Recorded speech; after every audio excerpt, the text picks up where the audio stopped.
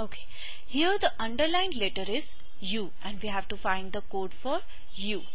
So the given word is fruit, F-R-U-I-T. So first of all, we arrange this word in ascending order. So we'll arrange the letter of this word in ascending order as F, I, R, T, U and it is given that these options are the code for the letters of the word fruit. So we'll arrange them in ascending order as well. It becomes C, L, Q, R, U. So here 6 is changed to 3, decrease of 3. Then 9 changed to 12, okay, increase of 3. Then 18 is changed to 17, decrease by 1 20 changed to 18 decreased by 2 and 21 remains 21 so there is no difference. So this minus 3 plus 3 minus 1 minus 2 and 0 it is not making any meaningful pattern.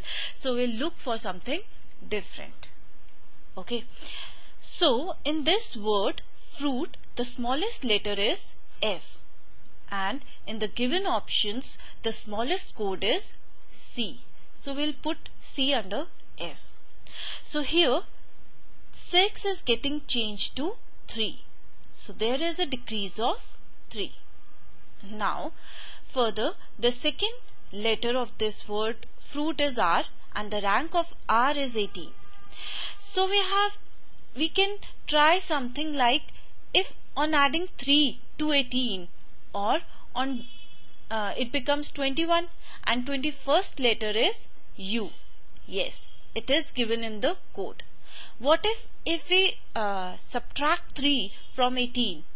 It becomes 15 and 15th letter is O and none of the option is O.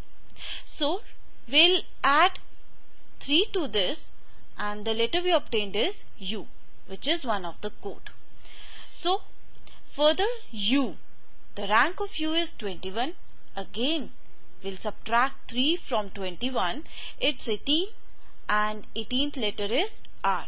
It is also given in the code. Then 9 plus 3 is 12 which is L. Yes, it is also given. Then 20 minus 3 is 17 and 17th letter is Q and it is also given. This minus 3 plus 3 minus 3 plus 3 minus 3 it is making a meaningful pattern. So, R. R must be the correct answer to this question. That is, option 5 is the correct answer.